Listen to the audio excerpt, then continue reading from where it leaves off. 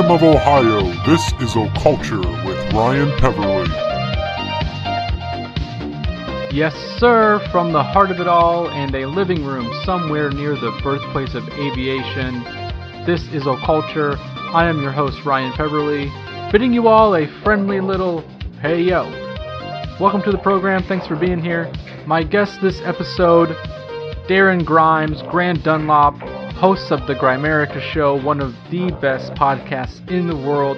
Darren and Graham are coming up in just a few minutes.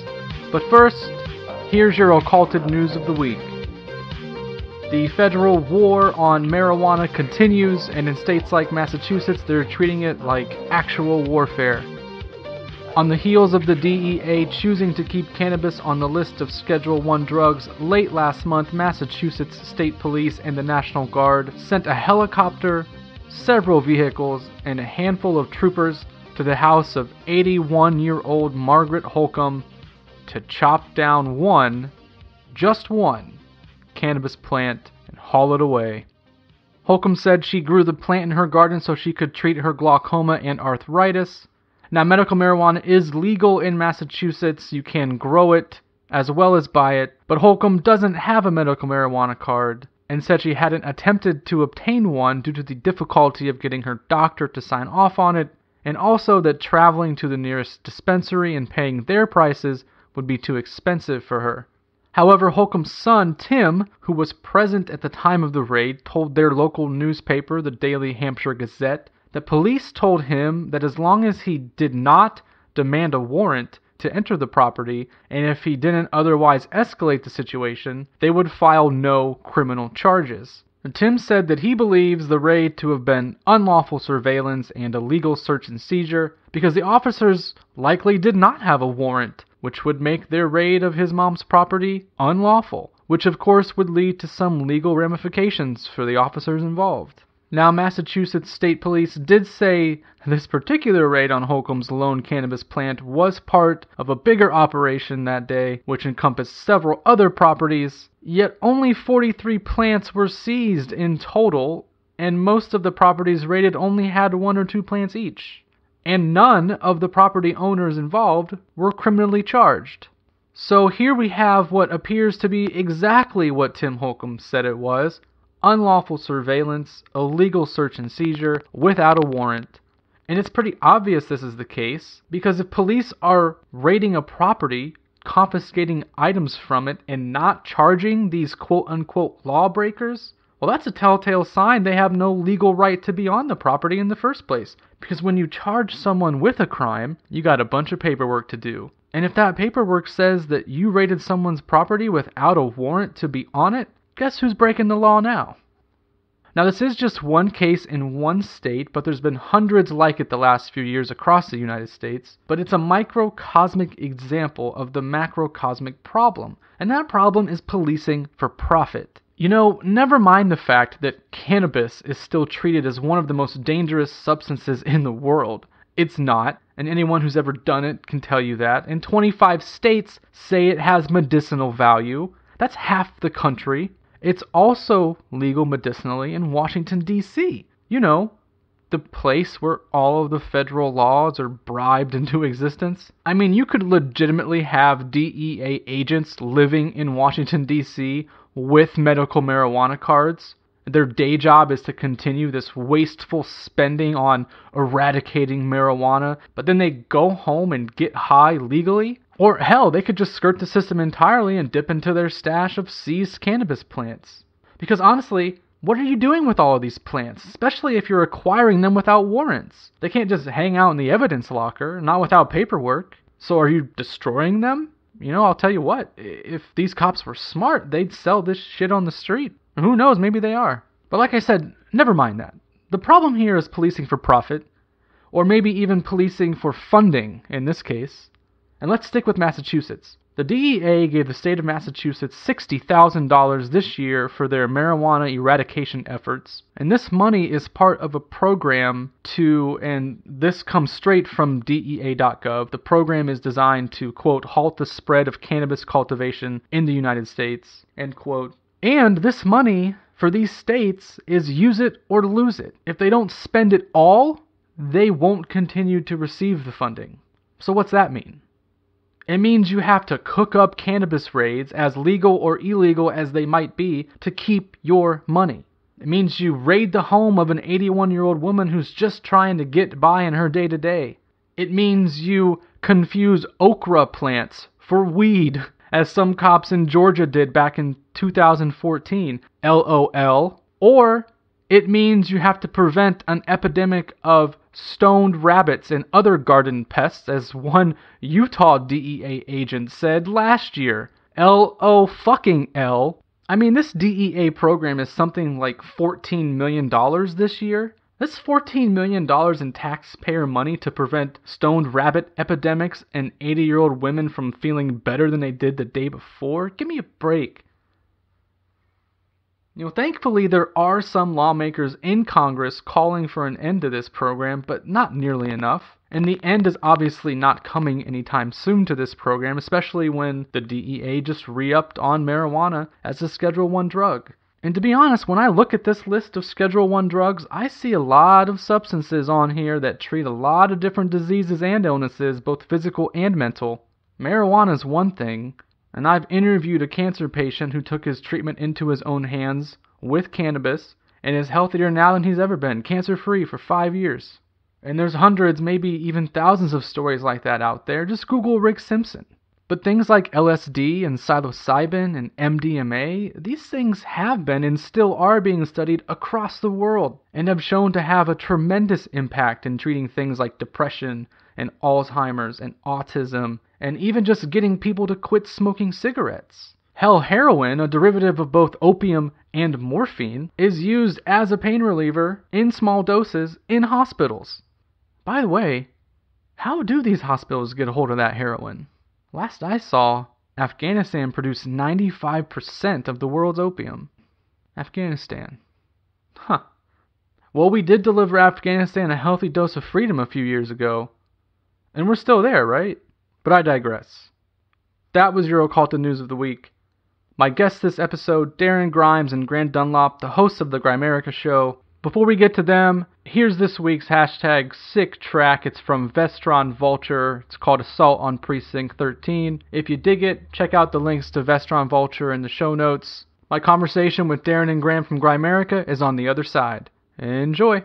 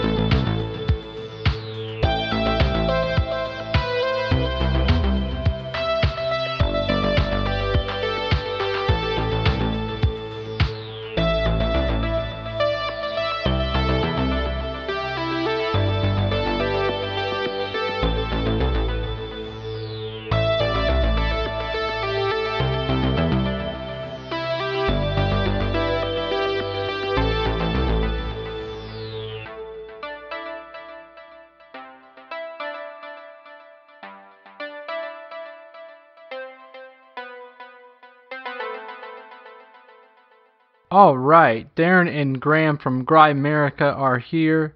Hey guys, what's going on? Hey, Hey, we're Ryan. not live, are we?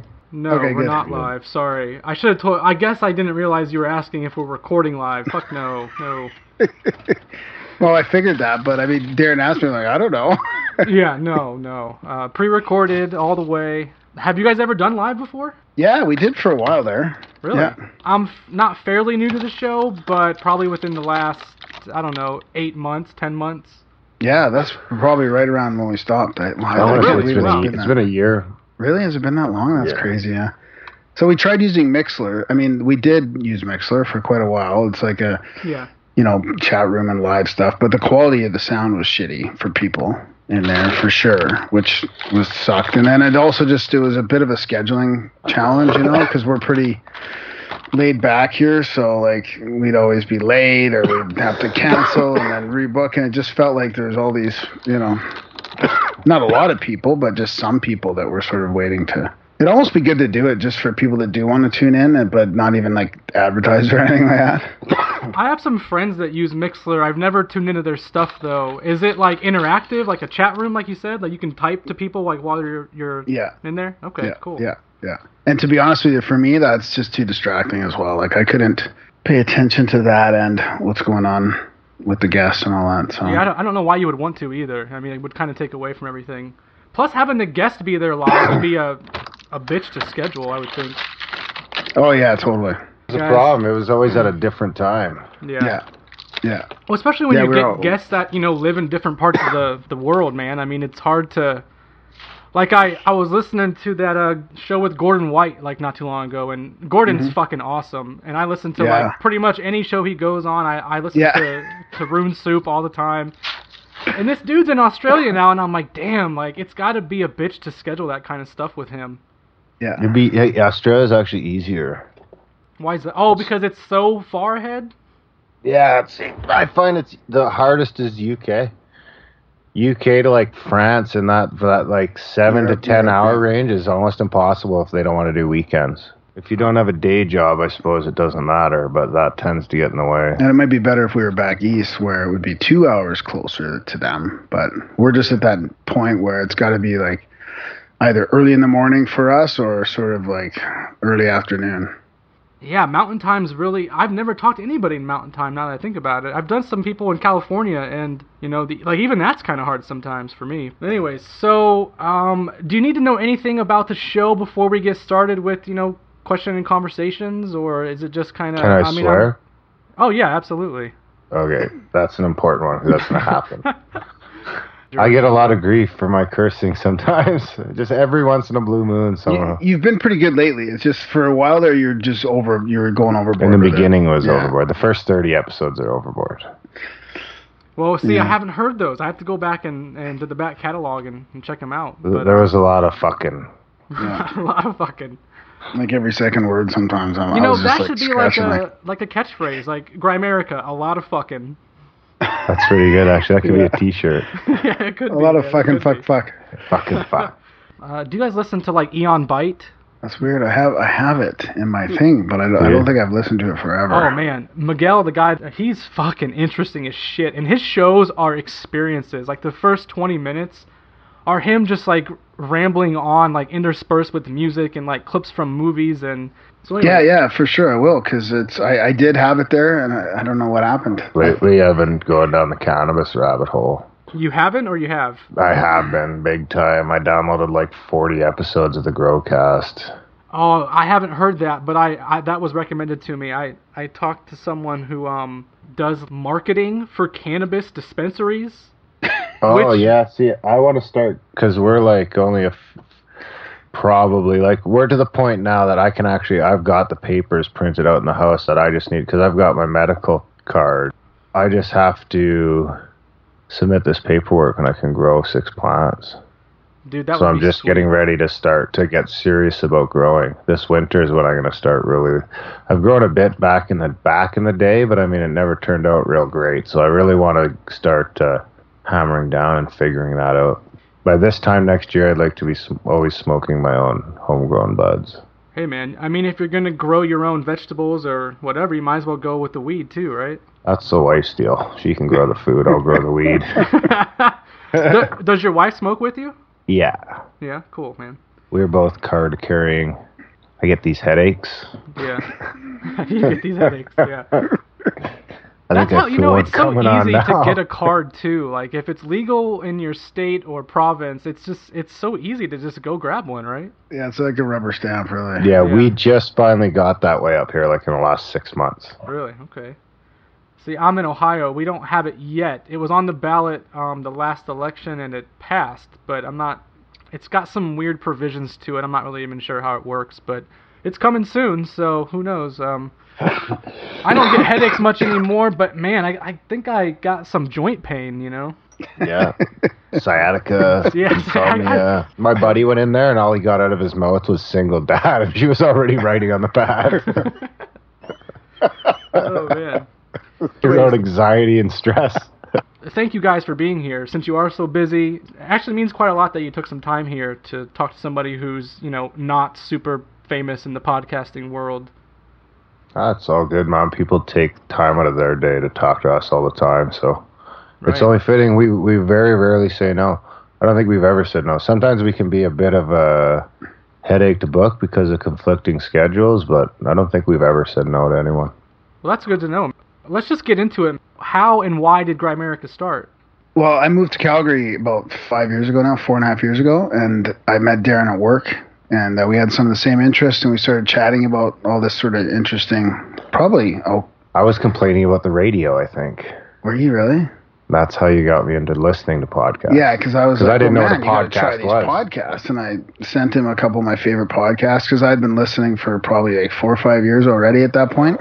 And uh, Darren started listening, and he got really into it, and we started chatting about all these things. And we went to a conference, kind of about ancient mysteries and like ancient alien type stuff. And and then we were like, you know, he was like, well, we could do a podcast, and I was like, well, yeah, we could, I guess. I was pretty hesitant at first because I didn't want to be on social media or have myself out there at all. I was going through a bad relationship breakup, and I was pretty scared. But we ended up doing it, and that's kind of just how it started. Is that we had the same interests and stuff, and yeah, we like talking about all this shit. So it was kind of just fun to be, just to become a part of this whole new media and talking about community. stuff that you know you, you normally just don't hear about on the radio. And you always want to ask your own questions, right? Yeah, absolutely. I mean, why would you not want to sit around and talk about your world and the universe? That curiosity, man, just it's good. This is a good venue to feed that. Exactly. I mean, I was addicted to podcasts to begin with because I could learn about whatever I wanted to learn about at any time for free, basically. So once I started learning about all this stuff, I just got sort of, I don't know, addicted to like just learning about interesting stuff. And then you go down all these different pathways. And then we just thought, well, well let's do this ourselves. We can chat with super interesting people. And we were going to just do like a chitty chatty ch- show amongst ourselves. And then we decided to do an interview style at the last minute. And thank God we did. Maybe another show will come someday. Yeah, I don't know. I don't feel I- like I I, could- have the. This I- is even tough for us to do somebody else's podcast. the road. 'cause, Yeah. Yeah, those conversational podcasts, they're pretty common and uh although I guess the interview style is too. It's I think you guys have a good hybrid though. I mean, starting your show with your, you know, your chunk of just you two bantering back and forth is enjoyable and then you get into the guest and then it's kind of the best of both worlds, right?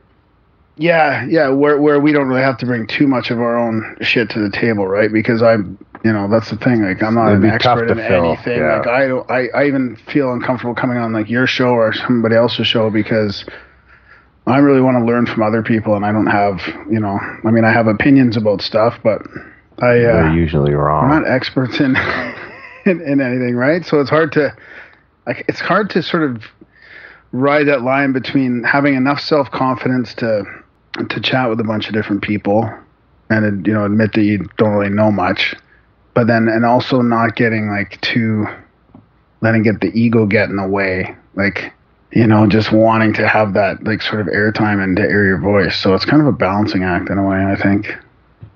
Well, I'm no expert at anything either, so I'm not sure what the hell you're going to learn from me. I totally agree with you. You know, let's get into a little talk about some of your episodes, and I, I'm just going to start right away with my favorite one. I Ooh, love uh, that. can I guess? Yeah, go ahead.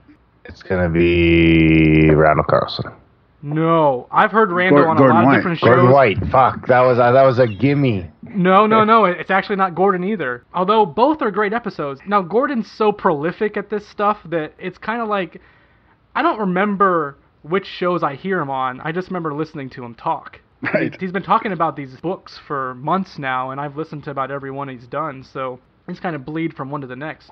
And Randall, I haven't heard him recently anywhere, but dude, that I I first heard him on Joe Rogan um, several years ago. Dude's super fascinating. No, my favorite one is Neal Adams. oh, that's my favorite too. Really? Actually, Randall and Neal are probably tied. I was actually I can't remember if we were recording this. It might actually be on the road trip episodes, but of all the episodes we've done, Randall and Neal are the only two. I don't want to say No, the they're not only, the only they're two, not the they're two only the two, but they're the two main that have changed my outlook on the world around me. Those are the the two people that I am I would say almost all in with the two of them and I would say that uh Matheson is up there as well. Why or how did these episodes change the way you look at things, man? Uh, I'm a lot more skeptical on a lot Right. of things than Graham, which is probably pretty easy to tell. But um, I don't know. For me, it could be just more that that's the things that interest me at the end of the day, like uh, the history of um, Earth or how the solar system works, and that sort of side of things has always interested me more than say UFOs or Bigfoot or anything like that. I mean, the nature of consciousness, I can get pretty twisted around pretty well too, but like the inner workings of reality is really my bread and butter, especially around Earth and space and the solar system. And I think uh, both of those guys are bringing for. I mean, shit, we were just down in Washington this weekend Right. um, with Brad Brad Young, one of Randall's associates, looking at at the uh, dry falls and that big uh, dry coulee down there. Hey, did you find your Because- hat, by the way? I did not. Oh, no, shit, it's man. gone. Uh, well, I've I'm seen sorry. it. I could see it. I know exactly where it is, but it just wasn't worth the trip. You should go back and see if it's still there, man. Well, I'm people going were, back people and were like commenting. You probably don't know this. People were commenting like, "Oh man, I know how he feels. I had lost a four-year-old, you know, well-worn hat. I mean, thank God yours was new and it was very. I like, might get it back yet because me and Lisa will probably pop in there when we go on our Oh, road it'll be trip in a couple weeks. So if it still happens to be there, then maybe I'll grab it. Hey, if it's still there, that's fate, and you have to grab it. Yeah, that's right. Yeah. Yeah.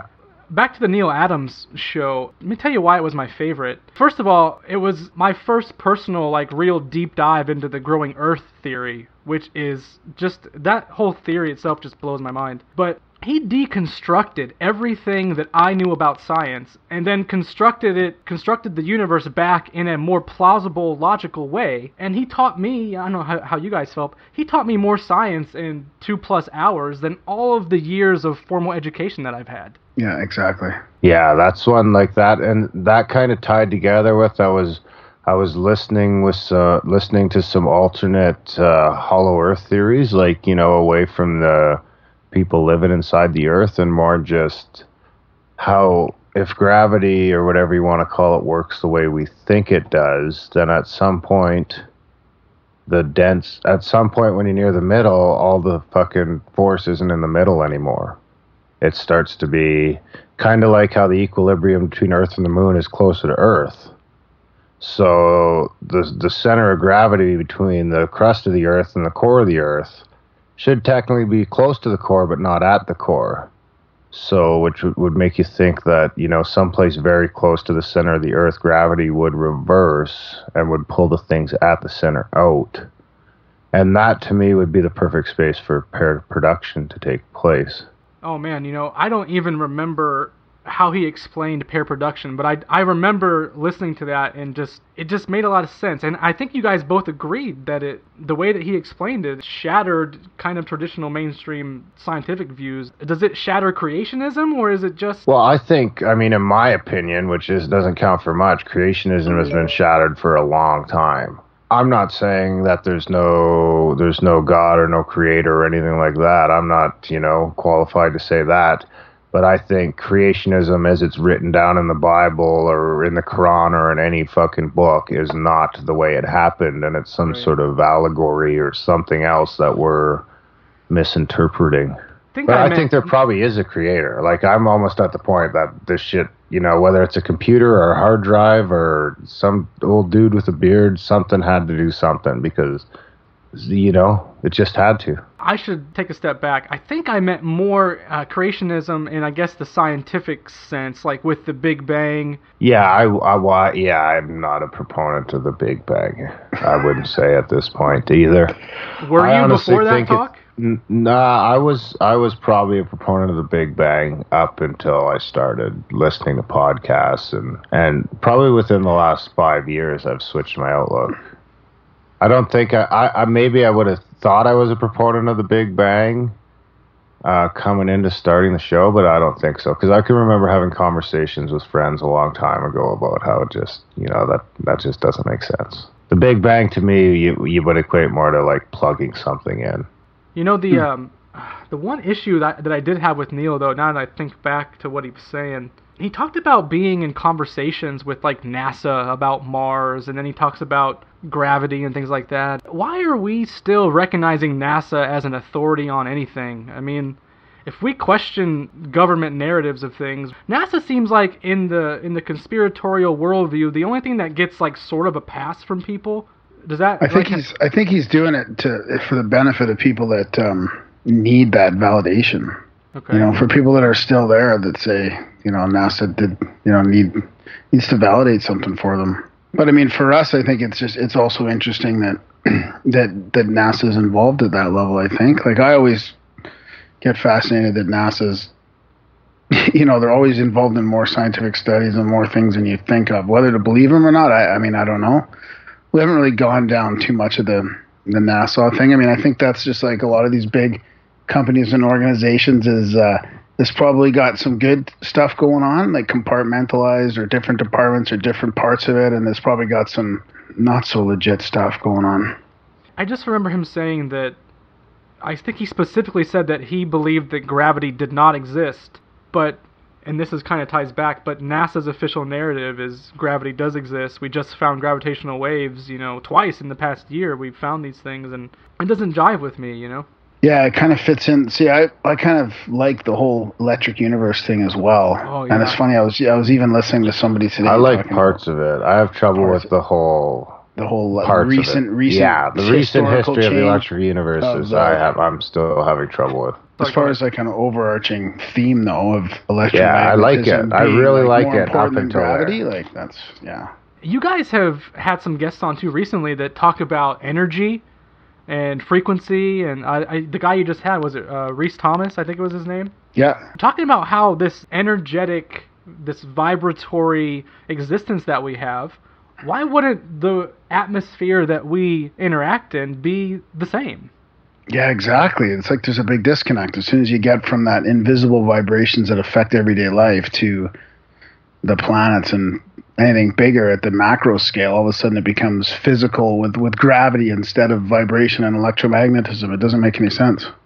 It does not. It does not. I, we might talk Yeah. about uh, that in a little bit. I just want to wrap up that Neal Adams thing. I ha- had one more point to make on that. Actually, it's not really about Neal at all. But did have you guys seen these uh, stories or theories that NASA has like staging areas for planets on Earth, and that's where all the photos come from? Um, like in Arizona, that type of thing. Like the I, New I don't know exactly. I think there's some in like remote locations in Europe and Scandinavia and So like know, a nobody goes to space type thing. Is that? yeah, it's a, just an interesting theory that I, I just stumbled upon within the last couple of months. All the stuff that you see that's put out by them, like from Mars, for example. Well, Mars has a staging area somewhere in remote Europe, and that's where all the pictures come from. They just tint them red and then put them out there. And then Neal said something interesting too that I remember about he had saw this story about um kids in a classroom were like writing to NASA telling them that Mars has tectonic plates. NASA's story about the, the Mars atmosphere wouldn't support the tectonic plates theory, I guess. So w- when you consider that other alternative that maybe maybe Mars is staged in Europe, well wouldn't that make sense if it has tectonic plates in the photos that it might be here on Earth where we know we have tectonic plates? I think those pictures were from the, the orbit though, weren't they? So I have trouble with. Well, like not like not that. from the Mars rover. Like those are surface level photos, aren't they? Yeah, though. Yeah, but weren't the? Yeah, that's right. But I think the I think the students were commenting on pictures from the orbiter because I the didn't only the only way you can see the spreading and stuff like that is from orbit. So yeah, like that, and I have trouble with that because I mean, then you've got to assume that anything like any of the moons around Jupiter, anything we can't see from Earth, that all that shit is just totally fabricated. I just don't think they would bother. I really don't. Maybe I'm wrong. That's a, no, I'm that's naive, a tough one because we had you know we had Crow triple seven on there once, and he was talking about that lunar wave, right? Yeah, And- but then like fucking a month later, he was changing it from being just facts to like fucking Paul Ryan or whatever his name is. What was his name? The dude from Fast and Furious got Paul Walker. you know Paul Walker got sacrificed, and you know like he went off the deep end in other directions. So I've tried. I've I, yeah, I have no, trouble no, with that's that kind of what. I was getting at. Is is we we started hearing more and more about that, and it's the same with the flat earth, earthers as well. I believe saying that Yeah. that there's nothing going out uh, past our Nothing leaves low Earth orbit. Yeah, low Earth orbit, which I don't know. We both, I, I even agree with Darren. I have a hard time. I have a hard time with that. That Well, whole. We're gonna fucking did- send something into low Earth orbit here eventually. Wouldn't the uh, Van Allen radiation belt prevent people from leaving low Earth orbit? I don't think so. No, there's. Re- I don't know. I think that the that we can shield that shit. I mean, we wouldn't have nuclear reactors if we haven't figured out how to shield radiation effectively.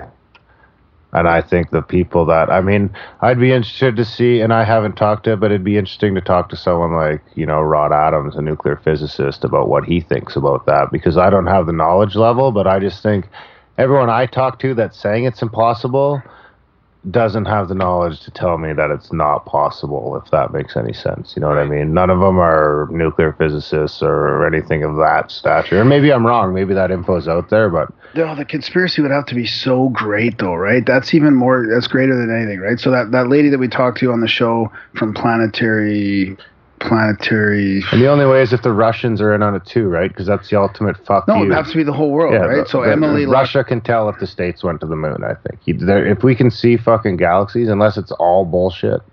But I, I then what's the point? If it, if it, if the conspiracy goes that deep, then I don't even want to know. Well, I mean, if you subscribe to the, you know, New World Order type of stuff, then both sides are in on it, no matter what. Like right? they're all yeah. working for the same people. I subscribe to some of the New World Order stuff. I mean, some of it's pretty obvious and evidential, but Yeah.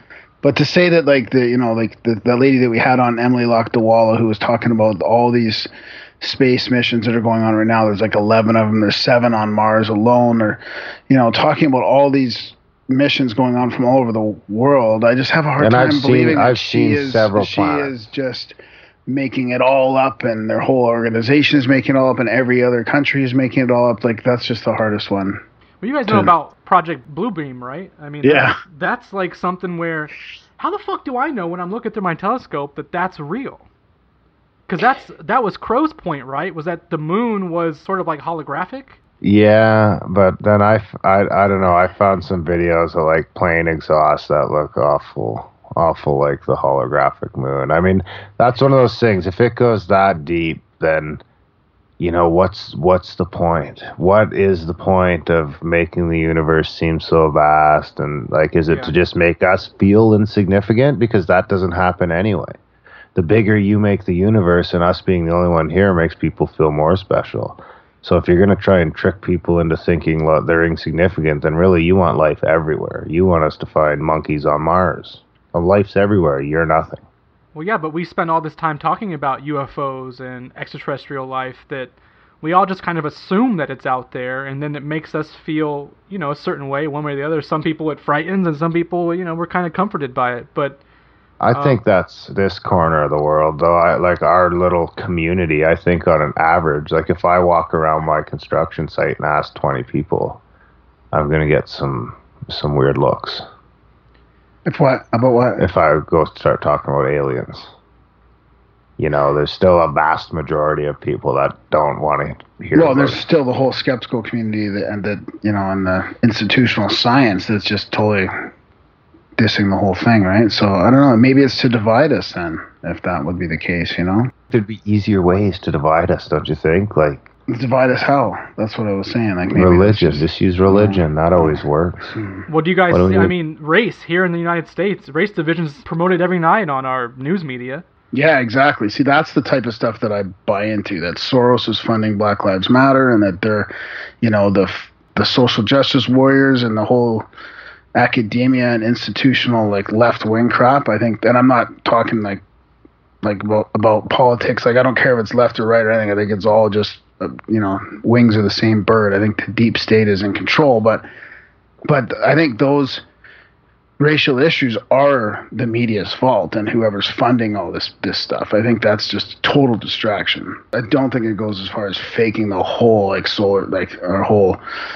astronomical situation. Like I, I just can't wrap my head around it being that big. No, at that point, it just becomes cheaper and easier to just fucking use guns and make us do what they want. And maybe Bluebeam will come around. Like I thought Bluebeam was more about simulating an attack or something, or like a, a visual hoax of an attack or of some sort of event, not necessarily like you know giving us the a whole hoax of what's up above or low, or lower. Well, not only that, Galileo was seeing Jupiter and the other planets, you know, 500 years ago. Well, that's what he that's wrote in his book, too. though. I mean, that doesn't mean that it was true. That's my whole point is that we are so quick to dismiss, like, you know, like you dismissed biblical creationism. We have to, I think, use the same skeptical lens on science as well, the history of science, and all these great astronomers and astrologers and mathematicians and physicists that came before. Like, how do we know what they're putting forth is accurate?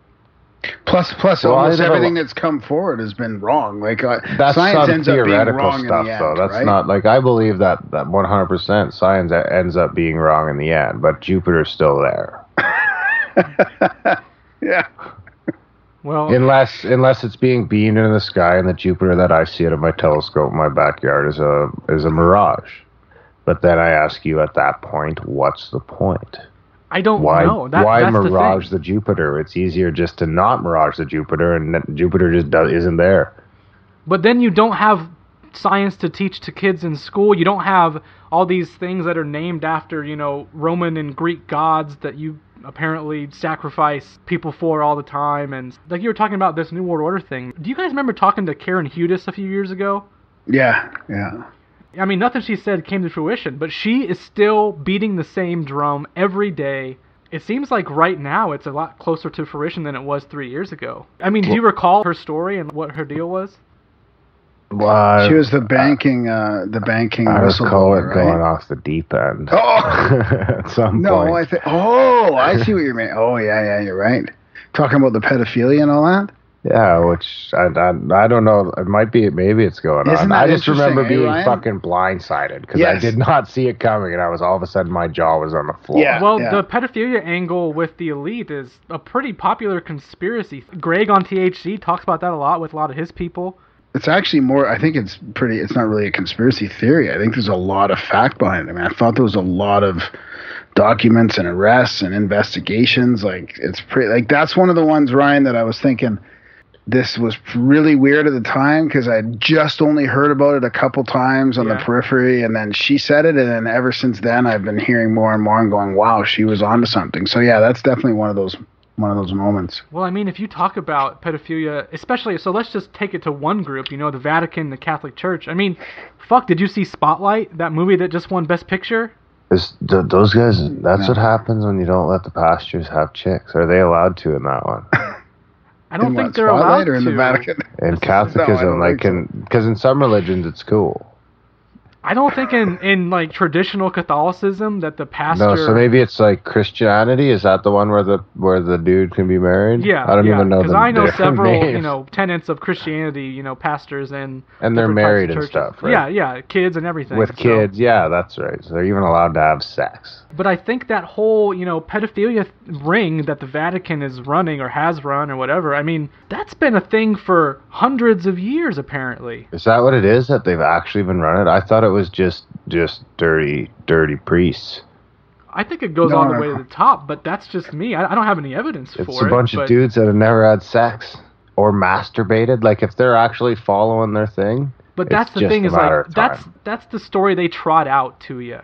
Like, oh, these priests take this, they take this vow of celibacy for God and all that bullshit. you But know? uh, so yeah, what, yeah, that's that's interesting. I wonder if that's like a ring or if that's just like like I I couldn't even imagine if I had gone all of my life to right now without ever copulating. Is that the word? Yeah, man. Hey, you, you guys should talk to somebody about sexual energy or you know something in that area. That, that's a pretty interesting. Oh interesting. yeah, I topic got one coming go- up. Yeah, oh, got do you one. really? Cool. I- yeah, I got a guest coming up oh, in Awesome. Oh studio. boy. Oh boy. Is it a hooker? no, No, I, I no, don't I think a hooker really realizes how much sexual energy matters uh, to existence. Well, they might. They might. They, you, you might be surprised on that one. Well, that's true, but I would think they'd be so, you know, just emotionally disconnected from it. Uh, yeah. I guess it depends on the type. Yeah. hey, if I can, So- if I can find a hooker who's emotionally invested in me, That's an important criteria, that's for These sure. are hookers of the future. Yeah. I'm just I saying, just like, you know, sex is more enjoyable when there's an emotional connection there. Yeah, so- totally. Absolutely. But the Karen Hudes thing, by the way, just to wrap that up, I, I found her to be super interesting, and I, I'd love to talk to her too. Her predictions must. haven't came She's true pretty yet. easy to but- get on the Twitter, I think, right? Oh yeah, definitely. What did she predict? I can't remember.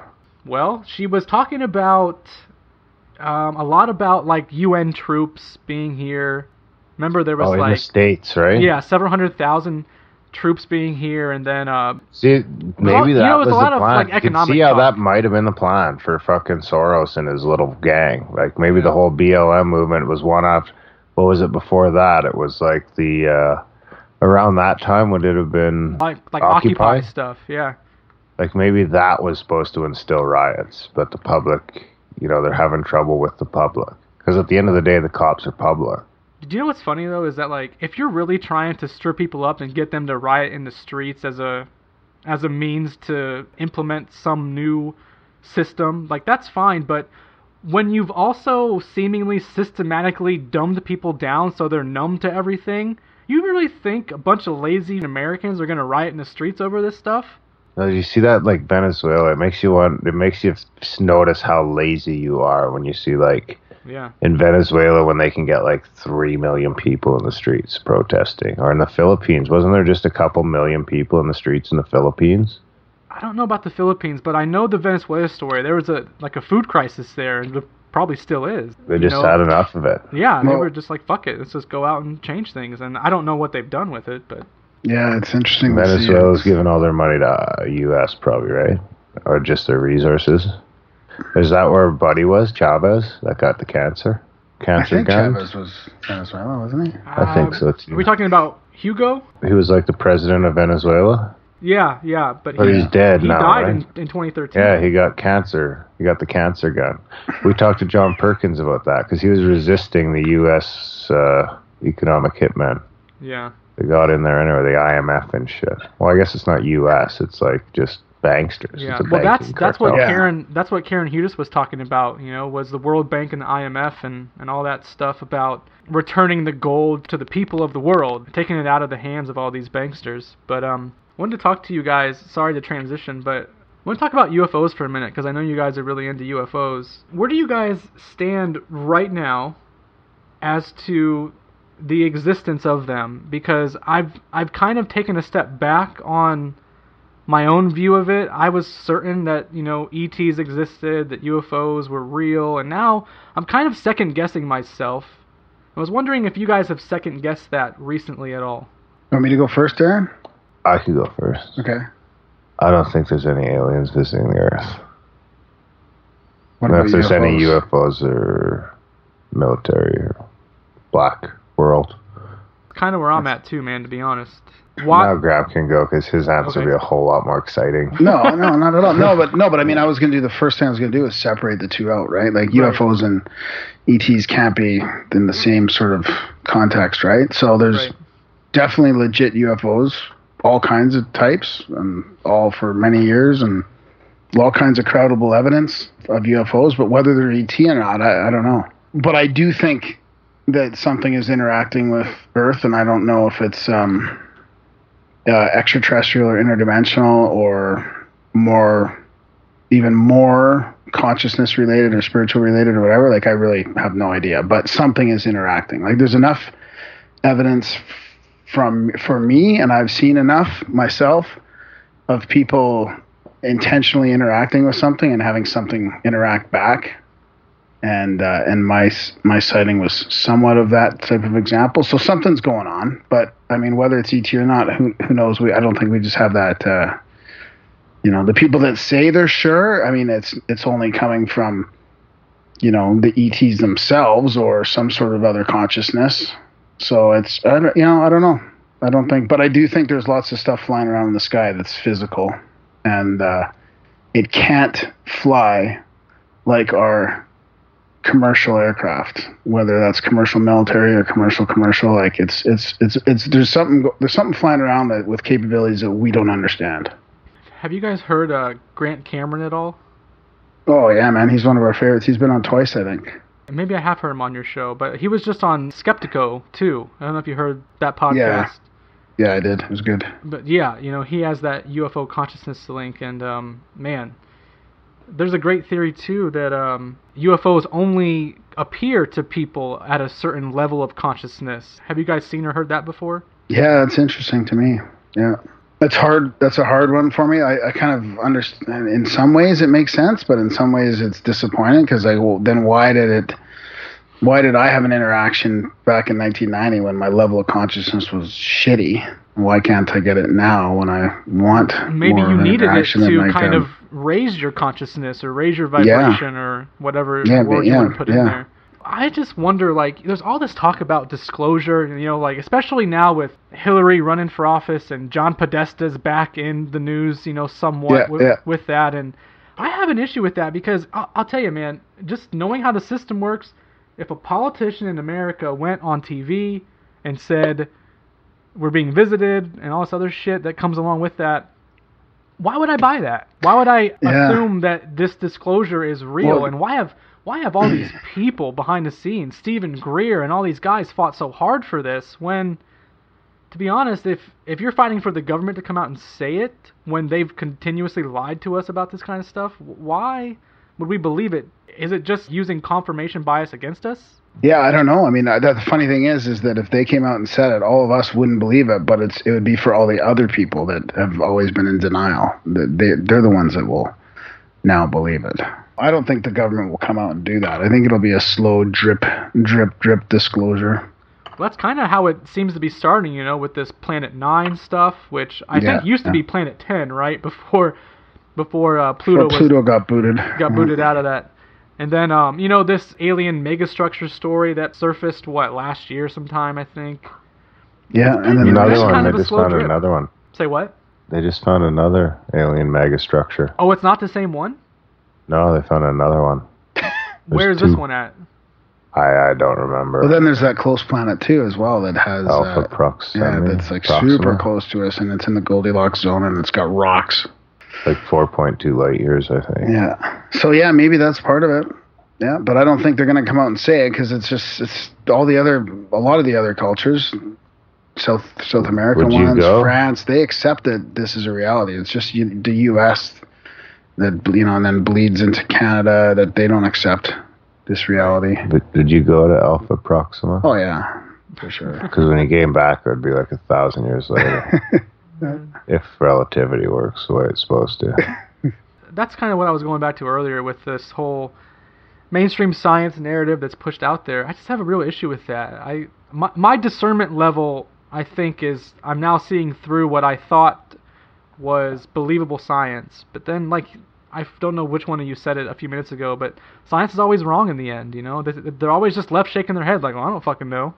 That's the well. The problem is it's these asshole spokesmen for science of the new generation that are the problem, right? Your Neil deGrasse Tysons and your Bill Nyes and your guys like this that are just they're spitting this shit out like it's actual fact, and you're making your documentaries like it's actual fact. And I think we've forgotten along the way that these are all just theories. And uh, I mean, so far some of them worked out pretty good, but then when we look at stuff that's really small, it all falls apart. So you know, obviously we're missing something, but nobody wants to talk about that.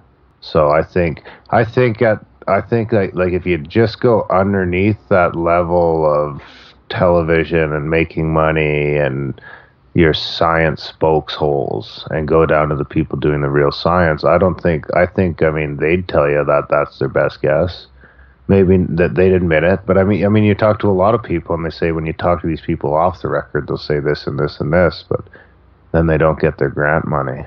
There's a huge uh, good part of science happening too. Well, first of all, I think that they keep equating our technology to science, which it's not. Right? Technology is different. I mean, science might If I be get hit by a car, I'm but it's pretty eng- happy that's, science is that's around. engineering, right? That's you know, Yeah. but they they want to combine engineering and science and say, well, science is why we got our you know iPhones and all that kind of stuff. Well, it's not. That's not really the same thing. Well, kind of it is because Yeah, there's a lot the of start, science but it's more engineering than. than No, it's engineering now. It starts out the scientists design it and create it, Mm, and the engineers build it. No. No, not Yes. Do you know how much fucking computer science and fucking programming and shit is in this thing? It's not engineering. There's a whole lot of science in there. So the, the there is some cool science going on with like biohacking and and, and all that. There's Oh, a whole bunch of health and fitness stuff happening, but I think there's a disparity between our institutions and our academia, and then what's happening at a a, a smaller level. Like there's all this leading edge science going on that's just not making its way to anything useful. Like i- as far as mainstream goes, right? Like mainstream and academia and all this is just in denial of all this other stuff that's going on. And that's because they only study the material world. After a while, doesn't that just become not interesting to study? When you keep studying the same shit over and over and over, and you still Yeah. don't really come to any definitive conclusions. I mean, come No, on. and, and and anything that doesn't meet that physical paradigm just gets tossed into a little bucket on the side. It's like, oh, that doesn't exist because it doesn't meet this paradigm. Well, let's talk about a little bit more spiritual thing. Let's talk about psychedelics for a second, because I remember as I was going through your back catalog recently, you guys did a show on mushrooms, right? Well, I, I wasn't. Yeah. Darren was. That'd be hard Darren to was. find. Sorry, sorry. point. I should have clarified Allegedly. that. No, no, no. That's it's all good. There, there was other people there too. I was just the chap, the sober chaperone. Yeah, you were the uh, what do they call that? There's like a I forget what the term is, but you got to have like a like a trip watcher. or Nerd. something. Yeah. Anyways, but what you know, I have a friend who grows grows his own mushrooms, and I was like, hey man, we should record a podcast on mushrooms. He didn't think it was a good idea though. Did you end up thinking that was a good idea afterwards? Did it come out all right? You think? a lot of people really liked it. A lot. It was funny because I remember getting feedback like two years later about people getting contact highs from the mushrooms I had eaten two years ago. but it no longer exists in the back catalog. You, you deleted it? Yeah, Why'd you do that? Ah, I don't want to talk about it. Oh, I know. Okay, yeah. Yeah. There came a point when it couldn't be around really, so I just it was better not. You know. Yeah. I mean, there, there's still versions of it out there. I think there's one on YouTube somewhere. I think Gainsford might have posted one to his account. It, it's guaranteed there's still versions of it out there, Yeah. But you took it out of the feed. but it's not in our feed. I was it would say, be tr- I it would be tricky see to it. find. I didn't see it in your feed, but I I heard you talking about it on some other episodes, and I was like, oh, I gotta find this, but I couldn't find it. I think it even still shows up. Like it'll show up, but when you go to download it, it's going to give you an error because the Yeah, file's not there. not available. And I don't even have a copy of that file anymore. But guaranteed it's out there for sure. Have you guys talked to Dennis McKenna or anybody like that? We Couldn't remember talked if you to had or not. Dennis I didn't McKenna note was like that. our fifth episode, I think. yeah, we've done a few on psychedelics. Yeah. I'm trying to get into them more, to be honest. Not just like research and reading and talking to people about it, but actually experimenting with them.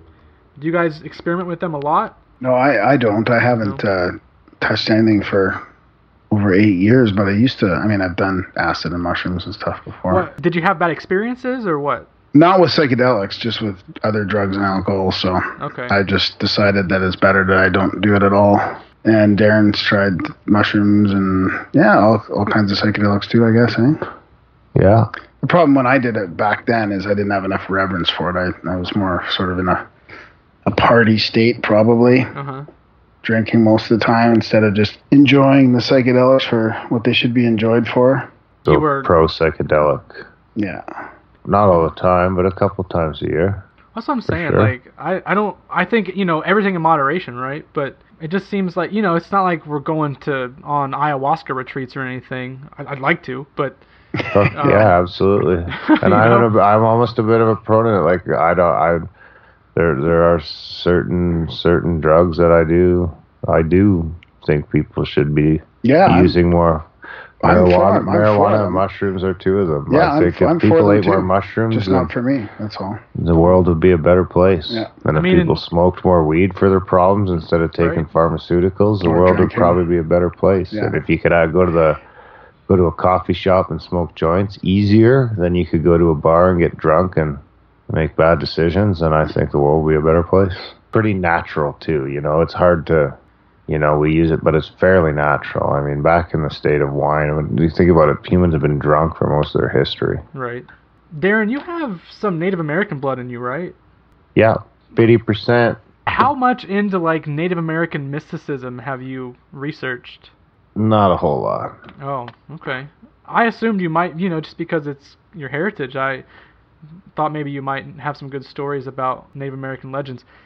Uh, I haven't researched much I into think it so, either, but, no, I, I, uh, You could probably don't- use some more of that. I couldn't you? probably could use some more of that. When my, as my kids start getting older, they'll probably be more like, we missed the powwow this year, but we're probably going to go next year. So, as my kids get older and I have to start explaining to them, then we'll probably just learn together. That'd be kind of a cool bonding experience to learn about, you know, your heritage and, and the, the kind of myths and legends from your culture. I think that'd be really cool to share with your kids. Yeah, that's right. Because I was raised out of the culture completely. So, One of the things I hear you guys talk about a lot, or maybe not a lot, but is uh, you know, kind of geoengineering, weather modifications. Mhm. Graham, I think you have a, or there's like a little clip you guys play that Graham, you're an all-in believer in chemtrails, right? No, he that's, is. uh, Uh, he no. is. No, not at all. That's the problem with a lot of these conspiracies is there's so much disinformation out there and that, that people think you're either like you're on way on this one side or way on another. Like you either believe that chemtrails are, you know, this huge program to poison everybody and to, you know, dumb us down and all this stuff, or you don't believe in them at all. But I think there's a middle ground there where there's weather modification going on. It's been going on for decades and it's affecting affecting other things. So I'm kind of in the middle on that. We can hop online and see all these companies that sell these services and products, right? Yeah, And they're yeah. they're all contractors with government agencies and whatever. But have we really studied how this stuff affects human health? You know, spraying shit into the air, like do we know what the effect of that is on us?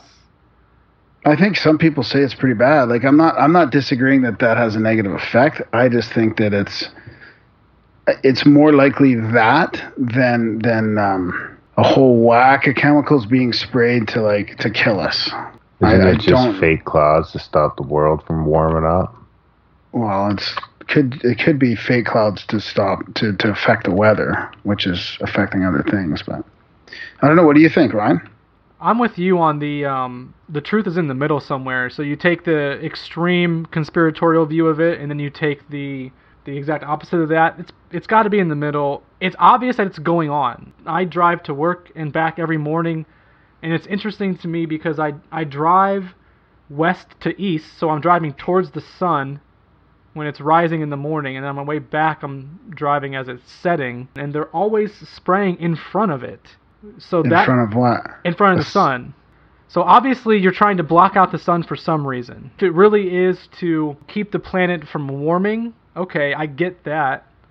And that's what they tell the pilots too, by the way, from what I've read and heard. But then there's the other part where, well, if you're blocking out the sun, you're blocking out essential uh, nutrient that we get from it. Yeah, which is becoming more and more important actually. That's kind of this biohacking stuff, right? They're saying that UV is really important. It's like light and water and electromagnetic and magnetism. Light, water, and magnetism are critical to health, apparently. Like more so than food and exercise and all this stuff. Like there's some pretty interesting research talking about that. Yeah, you're right. If they're blocking out that, whatever the reason, it's it's it's could could be really unhealthy for us. Plus all the chemicals as well. And then you also hear these stories about me- people measuring the jet fuel, and it's got a whole bunch of add unnecessary added bullshit in there, chemicals.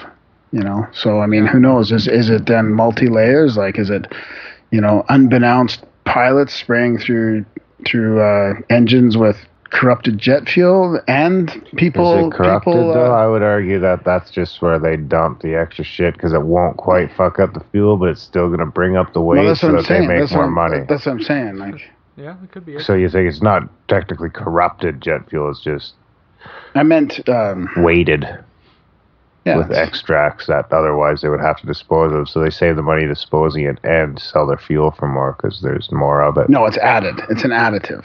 Somebody's adding it into the jet fuel. That could be. That's one of the levels of the See, conspiracy. I would, I would no. Oh, I thought you were going the other way with that. I was almost ready to agree with you. No. I was thinking that it's just the company that makes the jet fuel has some shit that they might have to take to the dump. but they Right, can also just throw it in the jet fuel, and not only does it make more jet fuel, so you make more money, you save the dump fee.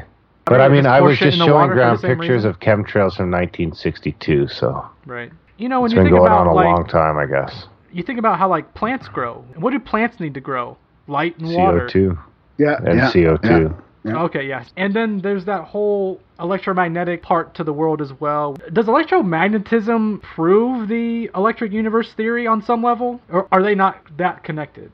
No, I think that's what it. That's what the gist of it is. I think that because you can, because because we can measure all this electromagnetism on this scale. I Yeah. think what the thing is is that it's that it's everywhere, and the universe is filled with it. So instead of it being dark matter and dark energy and gravity and all that, it's electromagnetism, and all these forces that are.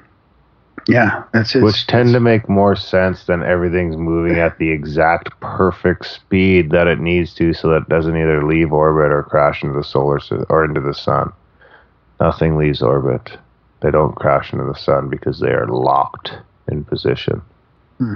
I've heard that um, you know, if the deep state is in charge, which we can pretty much assume they are, right? That nothing they do is for just one reason. Uh, yeah. Mm. So it it's got to have a multiple purpose. I guess it doesn't have to, but But they would utilize it for multiple purposes. Yeah. I just think when you deprive us of sunlight on some level, that essential vitamin, you know, like UV, vitamin D, I mean, we need this stuff to be healthy. So when you take that away from us, you know, that's why everybody's fucking sick. You know, well, that and, you know, all the shit you consume. But Sugar. yeah, sugar, man. I mean, have you guys talked to Rick Simpson or anybody like that? Yeah. Yeah. I haven't talked to Rick, but I talked to somebody who was a biochemist and stumbled upon Rick's story online and then he worked in cancer research and hospital administration for 20 years.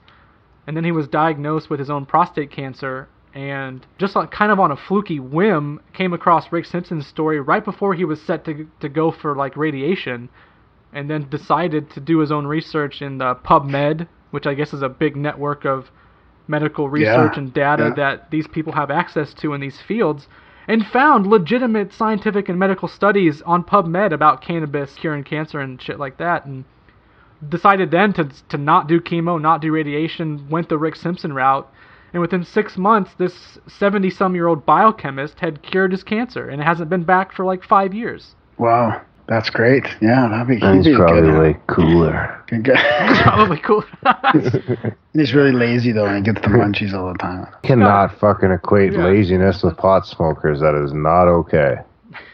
That's like one me or- associ- Oh, sorry. associating being short with Nazism. Oh my God. What? Yeah, it's Well- that crazy, right? Now you know how we just felt. I don't. Well, I don't know about that, man. I don't know about that. Wasn't Hitler short?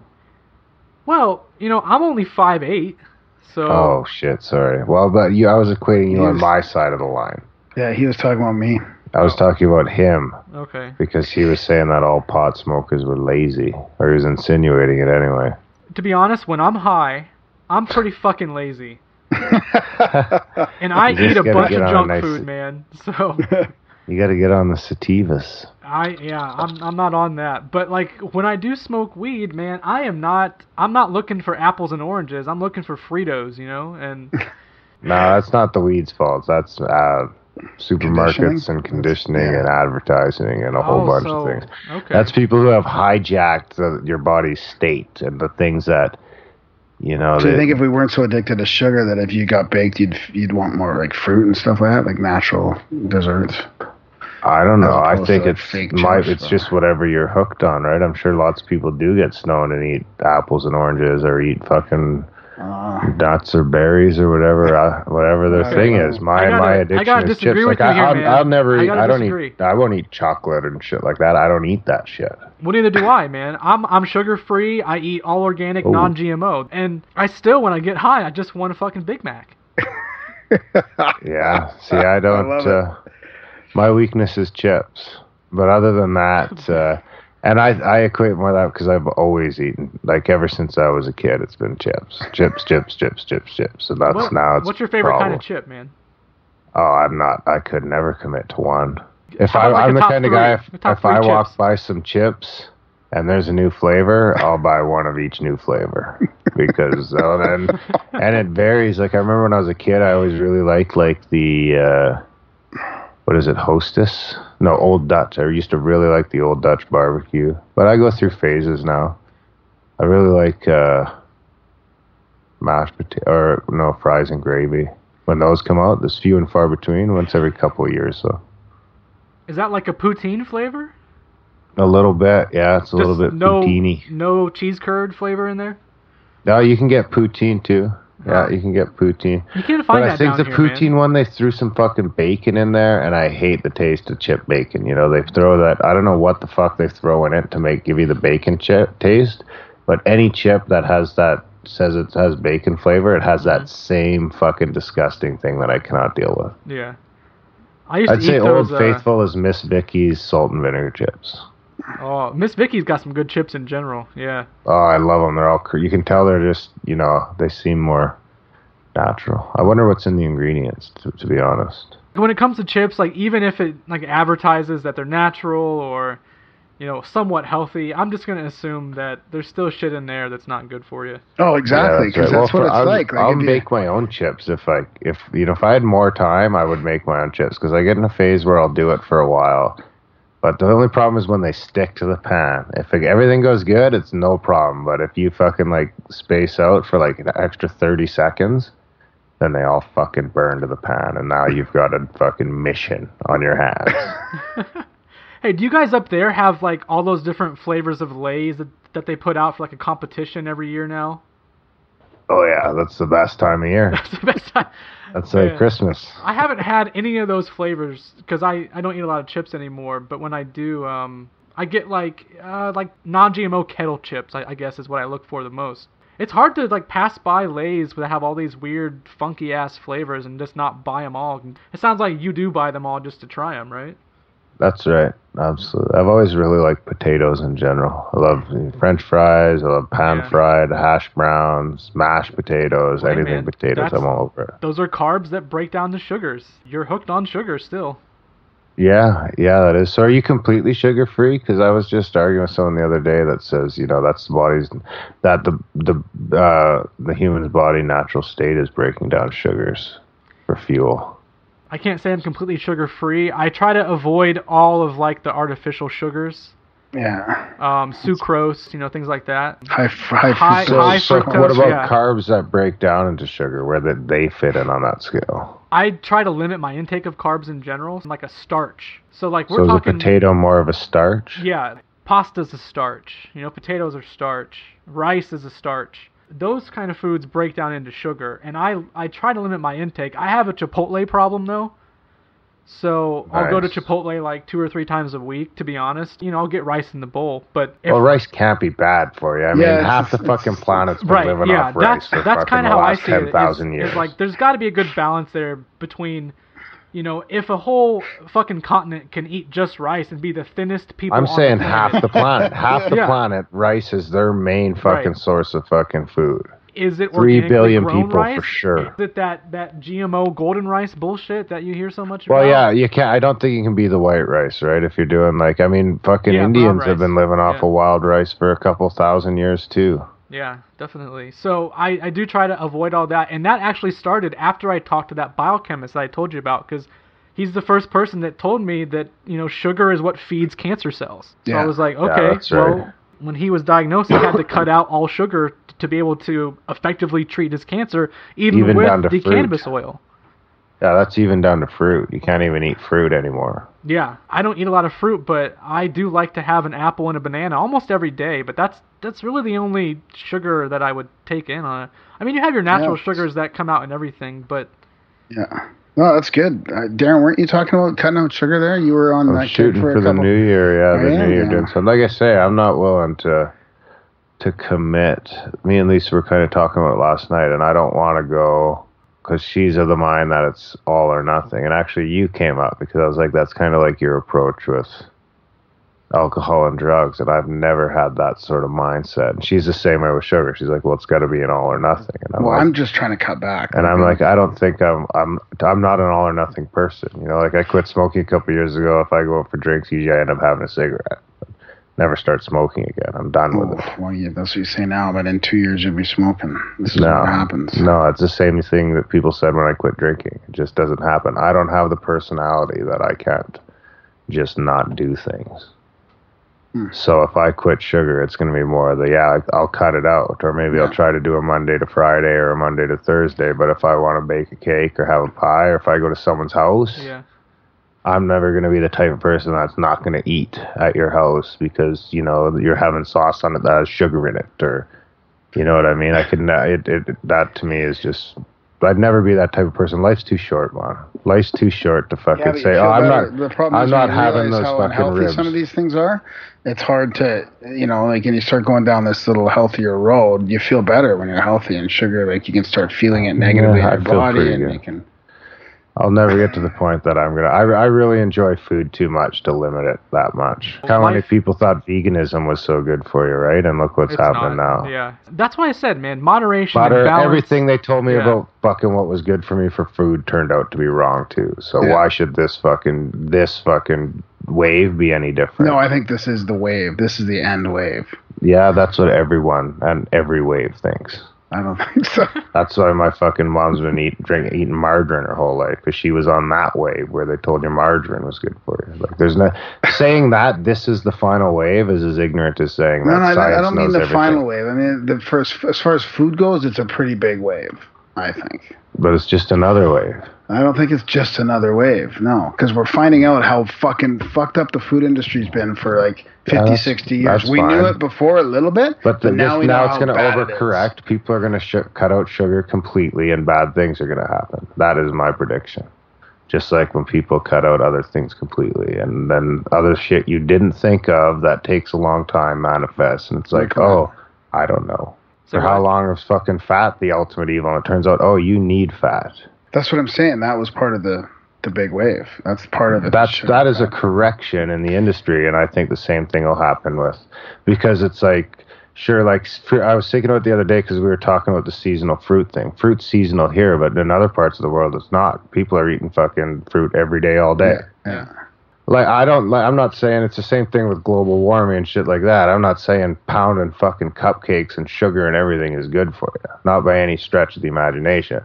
But I think if people went the route of cutting out I mean if you've got cancer, that's a different story, but I don't think the humans are meant to live 100% sugar free either. You said no refined that, sugar, Yeah, but that's that's a, that's a good separation there. but honey and, and fructose and Yeah. things like this are, are things that we've evolved to to have. So I think that sugar free could have the same kind of blowback as uh, what was another one, cholesterol, right? Mhm. No cholesterol. Well, it turns out there's good cholesterol. Oh, there's good fat. Oh, butter's not so bad for you. Said- Definitely better than you for you than what is what is hydrogenated cooking oil? Is Yeah. what what's that? Is that what margarine is? Another way to sell you that GMO canola. Where do you guys stand on GMOs up up there? I mean, down here it's a big issue now. Um, you know, we're passing laws that restrict, or I guess don't even restrict, but make it not necessary anymore to label it. And not that a company couldn't voluntarily put it on their their labels, but now, according to some recent legislation that's been through I think Congress, that that's you don't funny because to. I think that's the way the revolution's going to go. Is it's not going to be, it's not going to matter that people don't label them because people are going to. I already see in Canada a huge movement of people wanting to tell you that they don't. That they don't use them, What? right? Like there's yeah, there's Yeah. now a seal of approval. There's a non-GMO seal of approval that is Yeah. all over the grocery store, and I make sure that uh, rice any almond milk or soy milk that you're buying, anything I buy like that, I make sure it has that non-GMO tag on it. Likewise, yeah. I should do that one. I don't know if I notice that on everything. Yeah, because even if I can't go organic, because I don't, I'm I'm not a. My wife is, but I'm not all in on organic, especially at the price on at the price point on some things. Right. So certain things I'll buy organic if I can, but at the same point, um, like um, something like meat, I'm happy enough if it's hormone and organic, uh, antibiotic free. That's good enough for me because organic's a lot of hoops, right? And people And, can't well, afford it, and, it's expensive, and it drives up the price. But if I mean, if I go to the farm and buy my meat, and I know they're not shooting it full of shit to grow it faster, and they, it's stamped. Um, Humane certified. Humanely raised is one of them, and uh, PC does the free from, free from ant- antibiotics and free from extra any injected hormones, and that's good enough for me. And then on everything else, at the end of the day, non-GMO is good enough for me Well, if you like because chips I don't so have the much, whole thing. I mean, especially in Canada, like yeah, like Canadian um, Canadian farms and shit like that. You know what I mean? At the end of the day, I think most of them are. I'm not going to not buy, you know, BC Canadian, farmers yeah. peaches and stuff like that because they're not not labeled organic. Yeah, because I know there's a difference between some people, some people's farms that are almost organic, they're organic but they just can't get certified, and and people down the road. Yeah, it's like all the Amish people, or the I think they're called Hutterites out here. But they come up over here and I buy the stuff, and he's like, "Oh no, we don't spray no shit on there." Yeah. But he's never gonna have an organic sticker. Yeah, you know no, what I mean? because that just to get the USDA to your farm is costs a fortune for some of these Yeah. small farms. They can't all be certified organic, you know. Yeah. Hey, but Ray, right? I want to. I want to. Uh, we don't have too much time left. Yeah, I want to yeah. make sure we talk about this frequency stuff, like how you're doing your podcast, because uh, that's that's an interesting topic that keeps coming up. Yeah, so I started reading about the difference between 440 hertz and 432 hertz a couple of months ago. Don't know where I, don't know where I came across it, but it's an interesting thing. The 440 hertz apparently is detrimental to human health at the genetic level. Yeah. And then um, 432 is called the God frequency. I don't know if you guys know that or have heard that, but I've listened to some stuff online at the different uh, frequencies, and the 432 is a lot slower. And, and I've noticed the more I listen to it, the, the calmer that I am. 440 really like is a little bit faster pace. The main thing that people say is it just makes you angrier, makes you kind of depressed, and puts you in a bad mood. And then when you realize that all music is recorded at 440 hertz and then Yeah. just blasted out all over the place, it makes sense. And I haven't really dug too much into it to talk about it on an intellectual level, but I just decided to try it. I'm going to have some music on my show. I'm going to put it on there at 432 and I'm going to put all the conversations on at 432 and just see how it goes. You know, just see how people respond to it. If they even respond to it at all, you know, they might not even know, but I figure if I if I tell you that I'm doing it, maybe you'll pay more attention to something like that. Yeah. Well, D- Darren, can we adjust ours at all here? How do you do I that? don't know. You probably can. What do you guys just record setting. in? What kind of software you got? Studio One. Studio One. Okay, see, I do everything on the cheap because I've just started doing this. I'm just using Audacity. And And so you can just it's a setting in Audacity, or yep, I can go onto the track that I'm recording on and I can change the the rate and I can set it from 440 hertz to 432 hertz. And it's super easy and it, The sample rate. Yeah, I can only go 441, 48, 48, or 32. well, like Audacity has a, a thing where you can set it manually. So it, it has I like a little- could probably override it and set it Yeah. manually too. the only problem Is it is noticeably though, different? it slows down everything. So if I played this back to you at 432, our voices would sound a little bit slower. Maybe Oh, even a fuck, little Graham bit would sound stoned again. Probably. But I'm gonna try it. I'm gonna try it for a few episodes. I'm gonna see how it goes. I really don't want to change it because the more I learn about, you know, we've talked about this. Oh yeah. The more I learn about natural vibrations and frequencies, that stuff. Not to use a pun, but that stuff really resonates with me. It, it makes a it makes a lot of sense that that would No. affect us. You know. I totally know what you mean. So I went down. I've always been intrigued by sound and frequency and all this, and I've had experiences where my girlfriend was super sick, and I used the crystal singing bowl on her, and then she got instantly better, like twice in a row, one day. Like it's. So I've had some experiences where that's had a intang- a tangible immediate effect on somebody.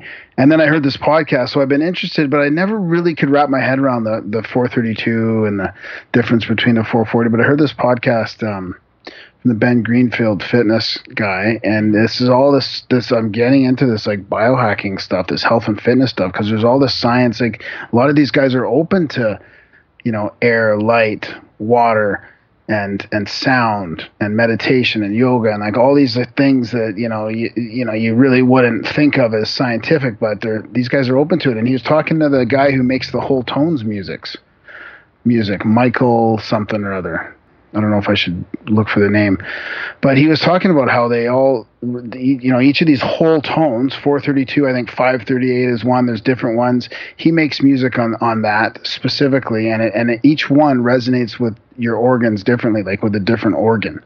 So it really is scientifically shows that this frequency resonates in a healthy way with your with your genetics and your cells compared yeah, um, to like 440 five, what you're saying which is very chaotic yeah and you said 538 it's actually 528 and they call that the love right. frequency ah so maybe nice. that works on your heart i don't know but that's just the, the yeah like, probably yeah. for it yeah. yeah, that's interesting. I haven't got too much into how it affects the different organs, like you just said, but I, I will definitely do it because I I'm gonna have like a, a blog as part of this podcast. I'm think I'm gonna try to do some more research and blog on that. You know, like why I'm doing it, and then, but you know have some actual science behind it and explain why 432 is more beneficial to the listener. Yeah, totally. Yeah, let us know how that goes. I'm really interested to know if we should like try that ourselves. You know.